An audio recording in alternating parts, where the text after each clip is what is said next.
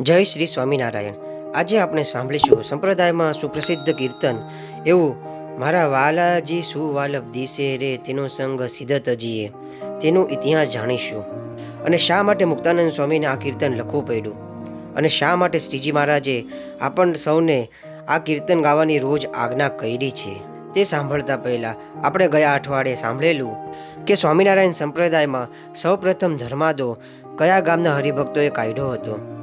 જો તમે તે વીડિયો ન જોયો હોય, તો નીચે આપેલી ડિસ્ક્રિપ્શનમાં લિંક આપેલી છે.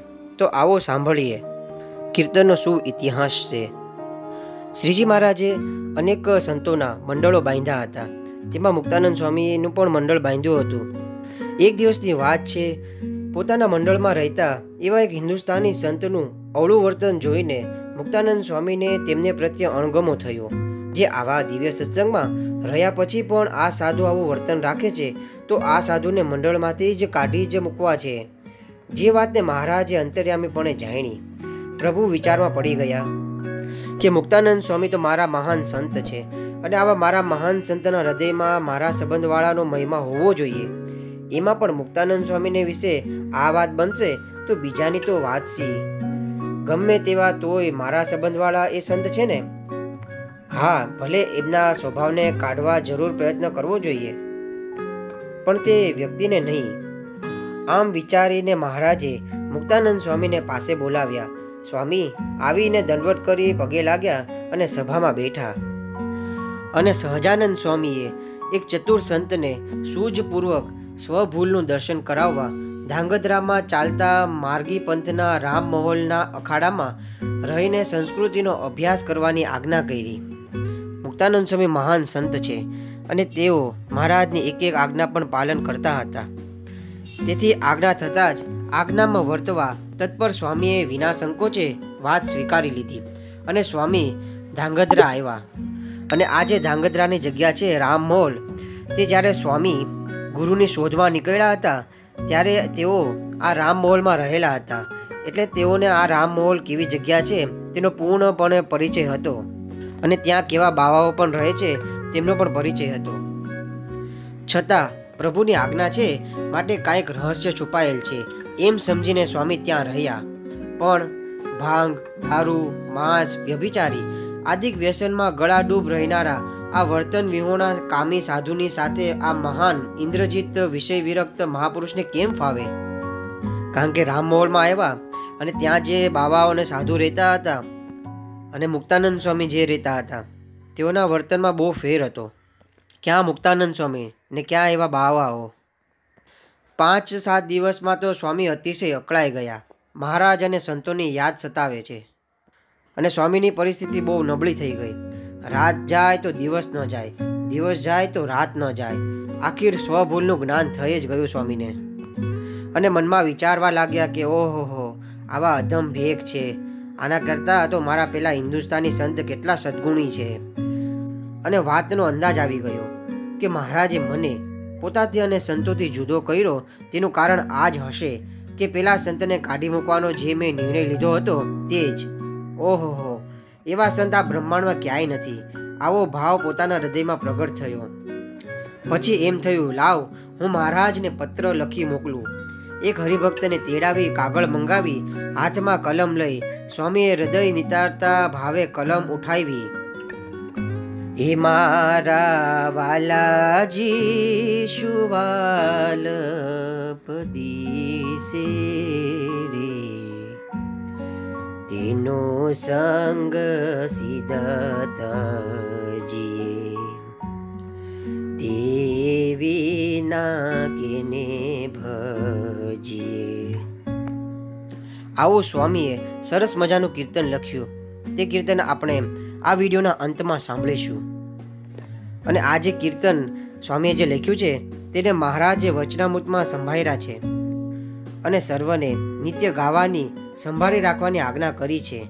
અને જે બીજું પદ છે, તે નરસિંહ મહેતાનું છે. પછી આ કીર્તન રૂપી પત્ર લઈને હરિભક્ત તે પત્ર મહારાજ પાસે લઈ આવ્યા અને મહારાજને આપ્યો અને મહારાજે વાંચ્યો પત્ર વાંચી મહારાજ જાણી ગયા છે કે સ્વામી હવે ખૂબ અકળાણા છે. માટે લાવ એને તેડાવી લો પછી સ્વામીને તેડાવી લેવાનો પત્ર મહારાજે લખ્યો. અને જેવો મુક્તાનંદ સ્વામીને પત્ર મળ્યો કે તરત જ મુક્તાનંદ સ્વામી તુરંત જ ચાલી નીકળ્યા અને મહારાજ પાસે આવી ગયા. અને મહારાજને ભેટી પડ્યા અને પોતાની જે ભૂલ હતી તે શીખવાઈ અને મહારાજ પણ ખૂબ રાજી થયા. આવો આપણે સાંભળીએ મુક્તાનંદ સ્વામીનું પત્ર દ્વારા જે લખેલું કીર્તન. કીર્તન સાંભળતા પહેલા વચ્ચે એક વાત રહી ગઈ હતી, તે હવે આપણે સાંભળીએ. અને જ્યારે સ્વામી ધાંગધ્રાથી નીકળીને ગઢડા તરફ આવતા હતા, તે રસ્તામાં પોતાને જે અહોભાવ પ્રગટ થયો છે અને પોતાને ભગવાન અને સંતોની જે પ્રાપ્તિ થઈ છે, તેનો એમને અંતરમાં જે કેફ અને ખુમારી ચડી, તેની વાત કઈ જુદી જ છે. વળી બીજું એમ થયું, જો મહારાજ પ્રગટ ન થયા હોત, તો આજ સાધુની રીત ભૂસાઈ ગઈ હોત. અને આ જે સર્વ સાધુ છે, તેની શી દશા થઈ હોત? સત્ય, ધર્મ, જ્ઞાન, વૈરાગ્ય, ભક્તિ આદિના બારા બંધ થઈ ગયા હોત. મહારાજ, મને માફ કરો, પણ પ્રભુ આપે જે કર્યું, તે સારા માટે જ કર્યું હશે. કારણ કે મને જો મતપંથનો પરિચય ન થયો હોત, તો આ સત્સંગની કિંમત કેમ સમજાત? આજ નજરો નજર નિહાળી, અનુભવીને આવું છું. મતપંથના મોહાંધ, પાખંડી અને પંચમકારનું સેવન કરીને મોક્ષ માનવનાર અસાધુનું વર્તન જોતા એમ લાગે છે કે, પ્રભુ, આપ જો પ્રગટ ન થયા હોત, તો શું થાત? તે વાતને સમજાવવા માટે સ્વામીએ એ ચાર પદો તત્કાળ રચી સર્વ સભા સાંભળતા ઊંચા સ્વરે તાલબદ્ધ ગાવા લાગ્યા.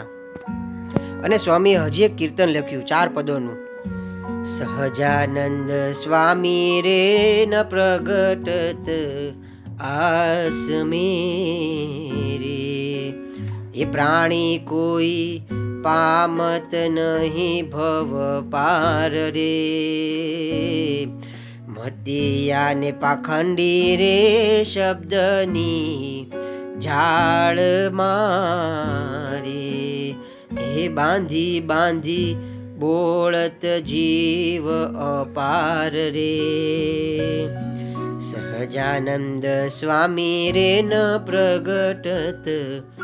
આસ મેરી.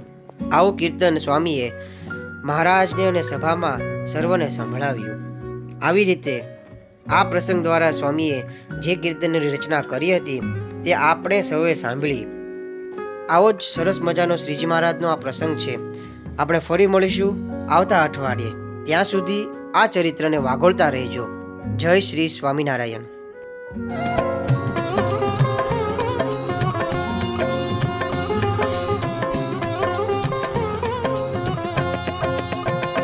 मा बाला जिषु वलपदि रे। ते सङ्गक्षी तजि होना के भजि मा बाला जि शूलपदिरे ते सङ्गक्षीत तजि होना के भजिे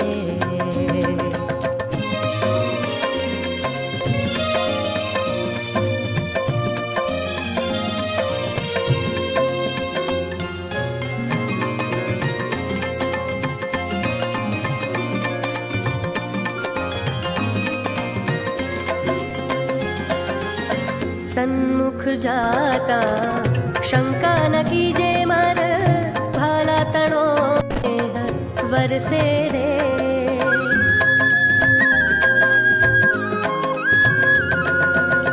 સન્મુખ જાતા શંકા ન કીજે મર ભાલા તણો મે વરસે રે હંસ જઈ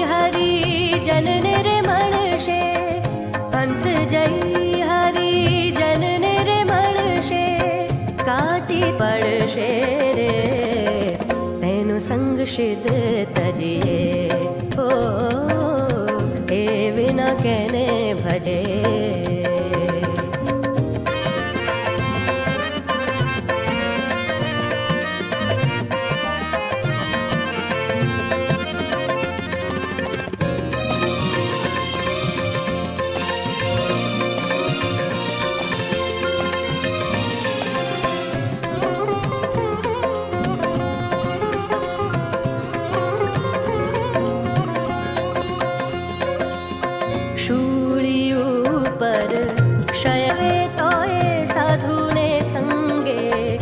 રહીએ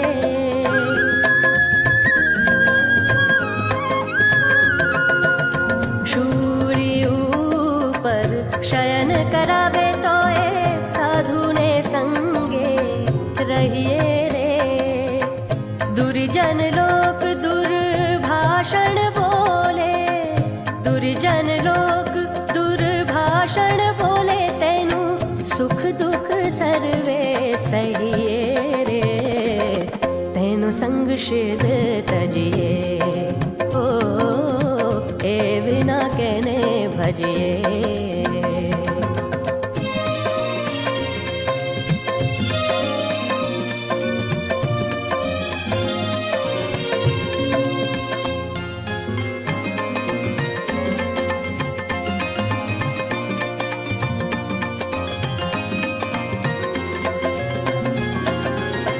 અમૃત પે अति मीठा मुख थी हरिणा चरित्र सुणावे रे।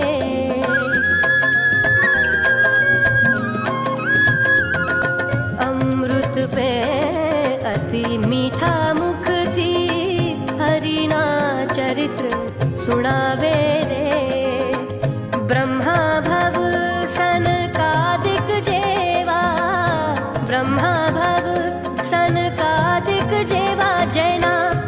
દર્શન કરવાને આવે રે તેનો સંગ સિદ્ધ તજીએ ઓ એ વિના કેને ભજીએ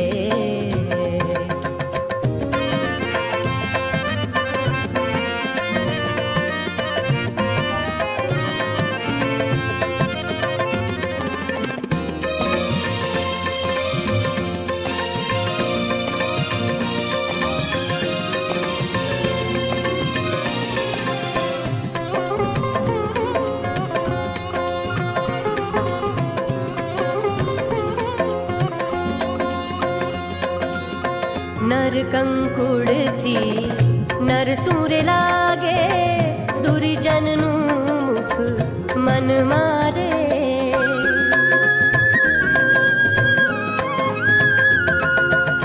नर कंकुड़ थी नर सूर लागे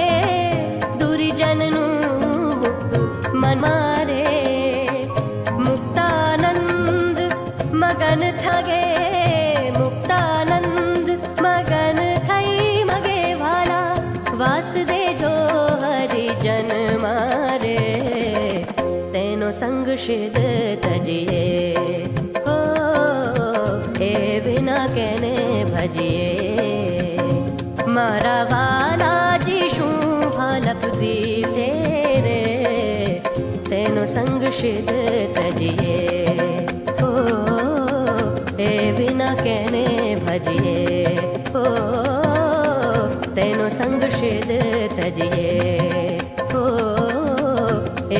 કેને ભજીએ